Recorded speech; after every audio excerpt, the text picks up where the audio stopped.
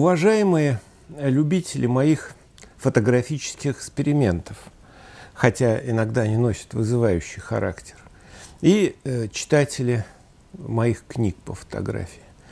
Сегодняшний такой небольшой выпуск будет посвящен самым базовым представлениям о том, как надо проявлять пленку.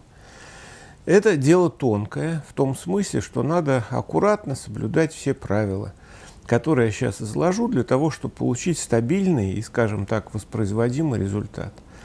Дело в том, что пленка, независимо от производителя, она все-таки требует куриных яиц для изготовления эмульсии, серебра и много чего еще хорошего и ценного, включая высококачественную воду. Не везде это можно соблюсти, не везде это можно проконтролировать, поэтому такие заводы строятся во всяких таких местах, где есть достаточно курей, где достаточно чистой воды. У нас, например, в Переславле. Проявители, которые выбирают для проявки пленки, их гигантское количество. Я для поучи... приведу поучительный пример, назидательный. В юности, когда меня беспокоило значит, качество проявки, э, я обратился, обращался к всякой литературе исторической, которой было много. И в конце концов мне попался немецкий фотографический календарь Э, за 1914 год. Несмотря на эту древность, я был поражен. Речь шла о 70-х годах. Э, здесь несколько э, сотен рецептов проявителей, то есть порядка 700 рецептов различных фотографических растворов для проявления, закрепления и корректировки негативов. Ну и позитивов, конечно. Занимательная вещь перед самой войной, то есть торжество немецких технологий довоенной эпохи. Я тогда понял, что, перечитав эти все рецепты, понял, что биться с этим бесполезно. Надо э, работать по-другому. И в скорости мне попалась в руки еще одна книжка. Гештолт Говорко, справочник по фотографии. Не намного моложе, 1937 года, в котором этот талантливый, безусловно, человек, один, может быть, их из лучших таких, скажем, популяризаторов фотографии, объясняет смысл и механизм составления э, фотографических растворов, то есть в первую очередь проявителей. То есть объясняет подробно, как это сделать. Воспользовавшись этой книжкой, еще несколькими химическими руководствами, я даже составил сам, придумал несколько мелкозернистых. Самое главное, в те годы была большая проблема противоореольных проявителей, которые работают хорошо на пленке в ночное время. Но не об этом речь. Из этих книжек я понял самое главное, что, собственно говоря, пленка раскрывает свои свойства только тогда, когда вы проявляете ее теми проявителями, на которых она рассчитывалась и создавалась. То есть теми проявителями, которые раскрывают полностью ее широту, спектральную чувствительность и разрешение. Конечно, есть и другие требования. Иногда нужно действительно снять ореолы или увеличить чувствительность э, пленки, то есть сделать пуш-процесс, то есть повысить ее чувствительность искусственно.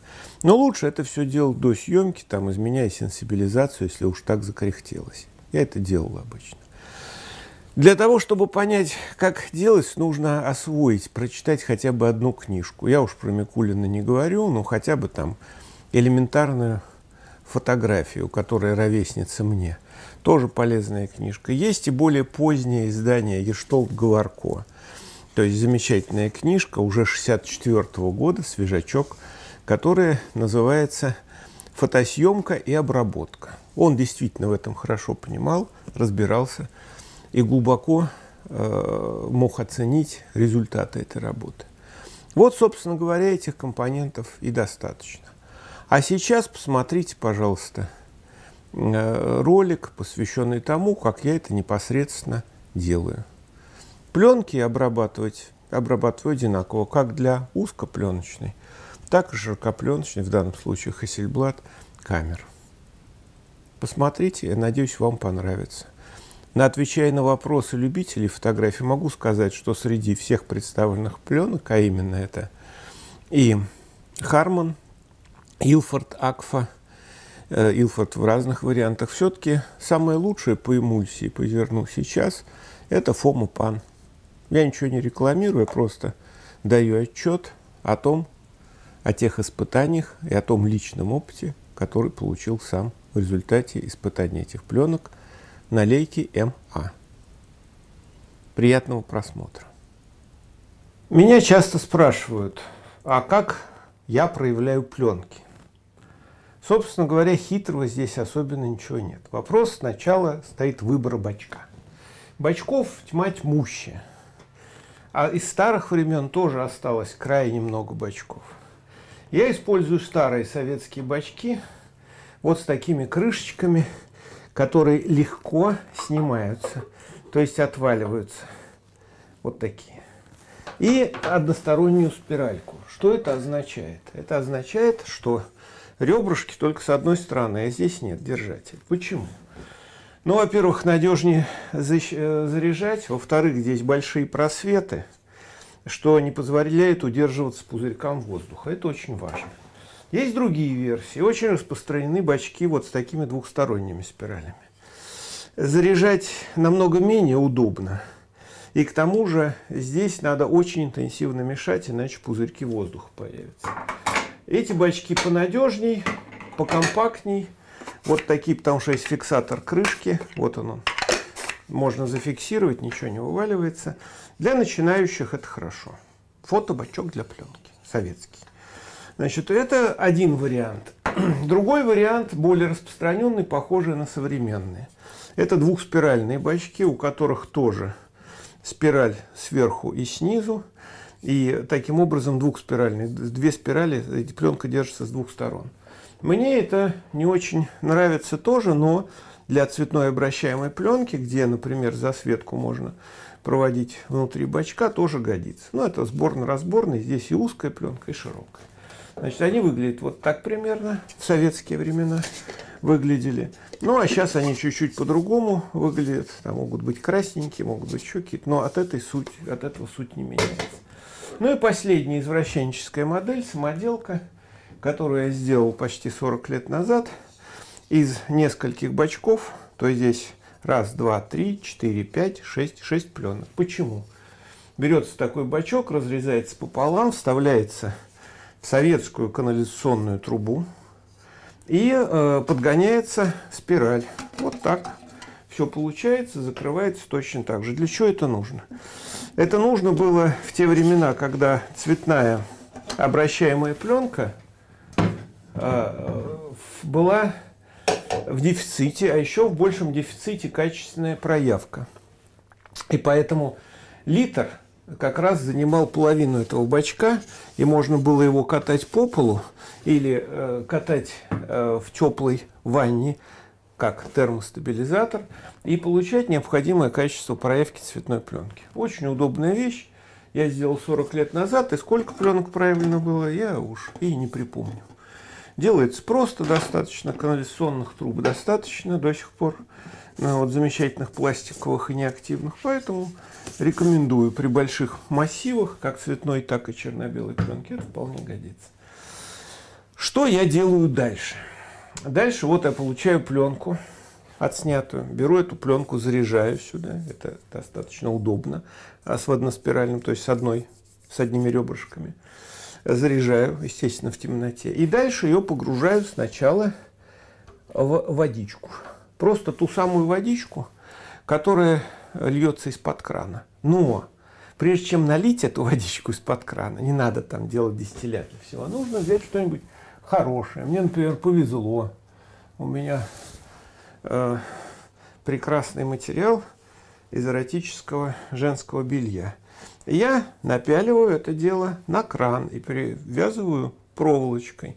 Почему? Потому что то, что течет из-под крана, заставляет желать лучшего. Вот эту воду мы наливаем и проверяем ее температуру.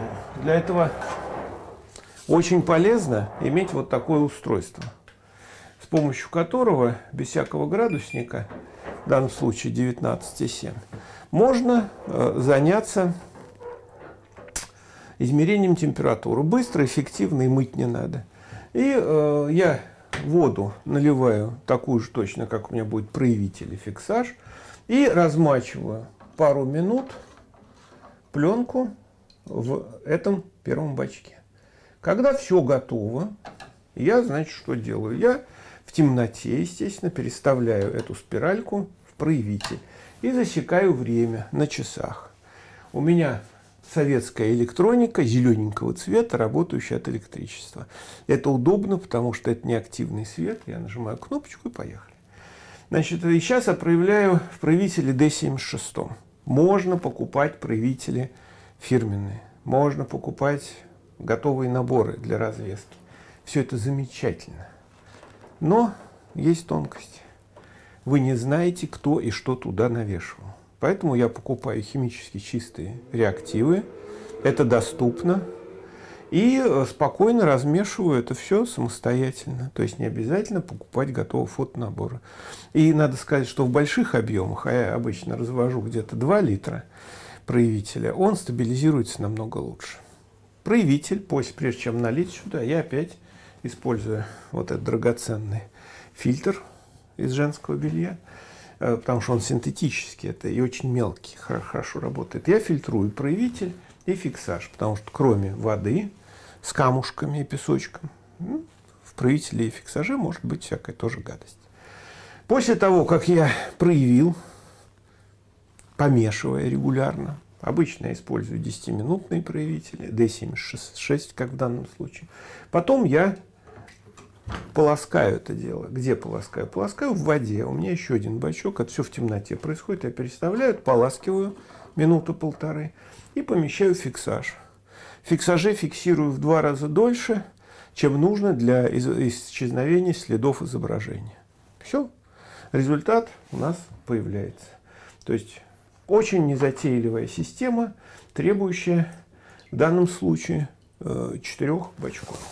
На самом деле э, неплохо иметь и пятый. Он у меня, естественно, есть. Но вот видите, все с пленочкой очень хорошо получилось. Это как раз пленочка для ролика, посвященного очень специфическому сравнению.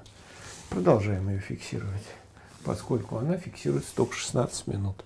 Все рекомендуют фиксировать там 10-12 минут. Фиксируйте полчаса и промывайте минут 40. Тогда она переживет вас. Позаботьтесь о будущем. Вашим потомкам будет интересно посмотреть, как именно там сходил с ума их дедушка или прадедушка. Но в конце, когда пленка вот эта будет промыта, э, нужно сделать еще одну операцию. Нужно взять вот этот бачок из-под размочки и туда капнуть немножко очень дешевого шампуня или специального улучшателя для фотопленки. Он просто стоит 10 раз дороже. Я использую тривиальный, самый дешевый шампунь для волос, который является такой же точно химической ерундистикой, как и водоумягчатель. Капнуть капельку, развести, разболтать, окунуть пленку, подержать минуту и потом уже повесить. Вот, собственно говоря, и все вопросы, связанные с проявкой фотопленки.